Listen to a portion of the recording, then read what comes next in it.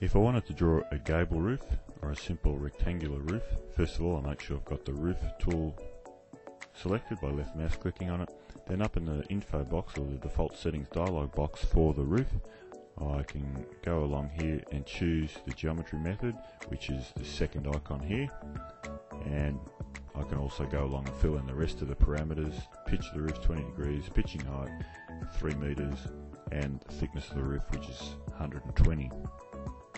So first of all, a left mouse click on the slab to define a pivot line. And so left mouse click, and as I drag the pivot line out, it normally lines up with the edge of the slab or the reference side of the wall. And once the pencil's black, we know that we're actually on a point or on the edge of the slab, the corner of the slab. I left mouse click again.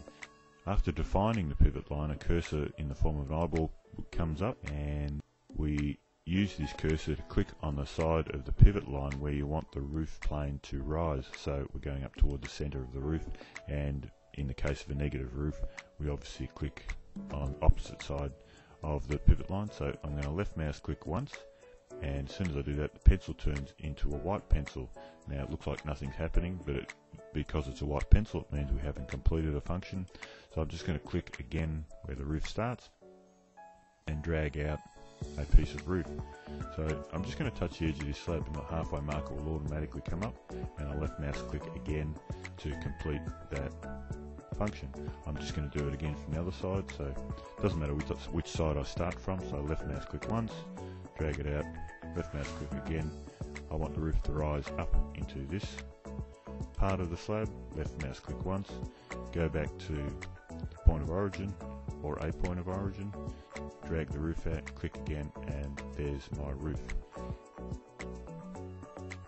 If I want to edit that further, I can merely hold the shift key down, select it, and the pet palette comes up and we've gone over all these. They're exactly the same as they were with a slab. If I want eaves, I can just click on this icon here, the offset edge icon, and when the tracker palette comes up, I can type in, if I wanted a 450 eaves, just type in 450, push enter, but I can also type in if I'm in the Y direction. So I'm going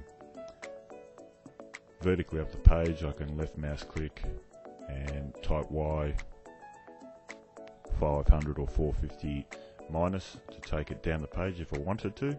So there's two ways of moving the edge.